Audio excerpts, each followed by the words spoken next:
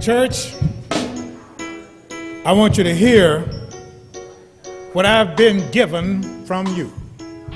The gifts that you have bestowed upon me right now, I will attempt to use them wisely. Sister Tamara, please read.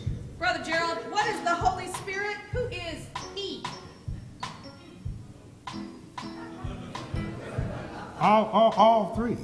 Oh, all three, excuse me. Brother Gerald, who is the Holy Spirit? Who is He? What turns you on?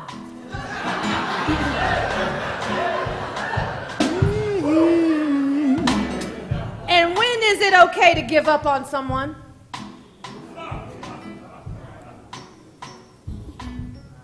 All right, church. Question is what is the Holy Spirit? The Holy Spirit is not personified, so we will not say the Holy Spirit is he or she. Preach it! Preach it! But the Holy Spirit is like a breath, a wind that whistles in when you least expect it. The Holy Spirit brings us to the fullness of who we can be. The Holy Spirit is not something we can engender as if we were making Kool Aid. the Holy Spirit comes from that which we know not, but that which we receive. The Holy Spirit is with us this morning. The Holy Spirit says to us, in our own ways, be who you are. The fullness of who you are is infused with divinity, divine, the Holy Spirit. So, therefore, I've been asked what turns you on, Reverend. Well, I'm here to tell you what turns me on. It's the feeling that comes from beyond.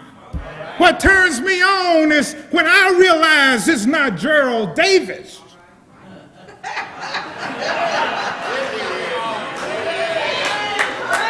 Oh no. It's coming from ancestors.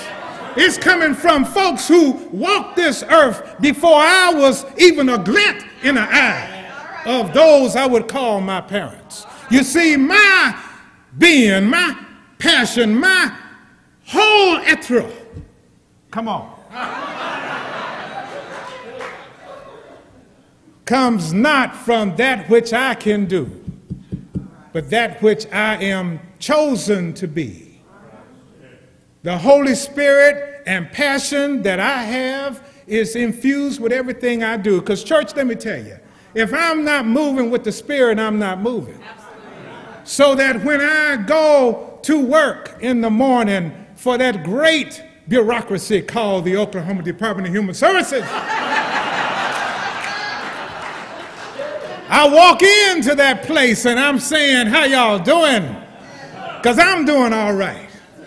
I'm filled with something that I hope you got, because we got to give it.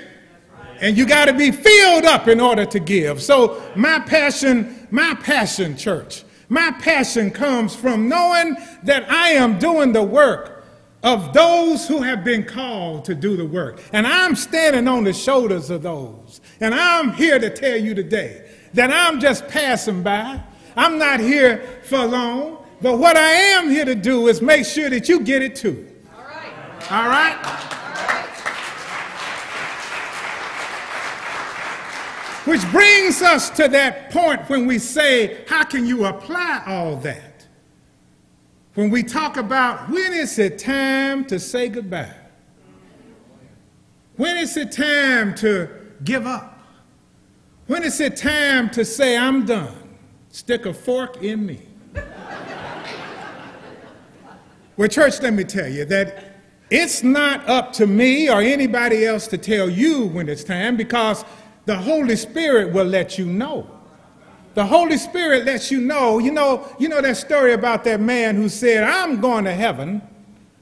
When God calls me, I will go to heaven. And suddenly there was a downpour of water that became a rushing, roaring flood.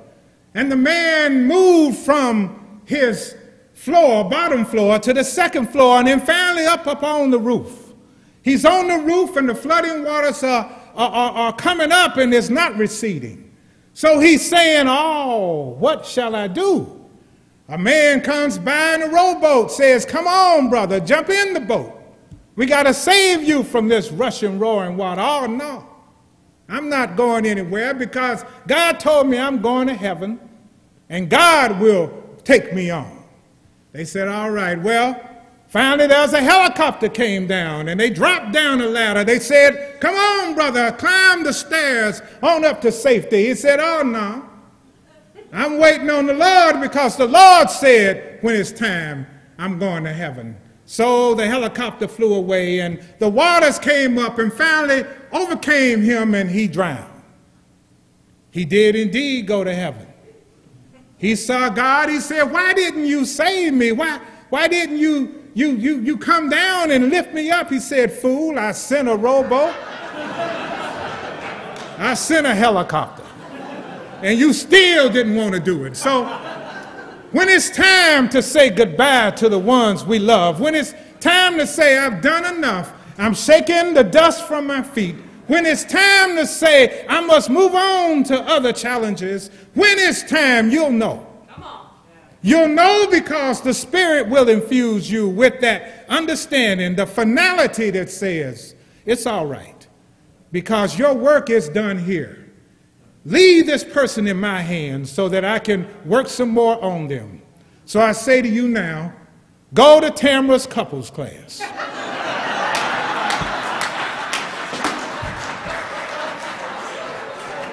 and get what you need in order to say goodbye. Amen? Amen.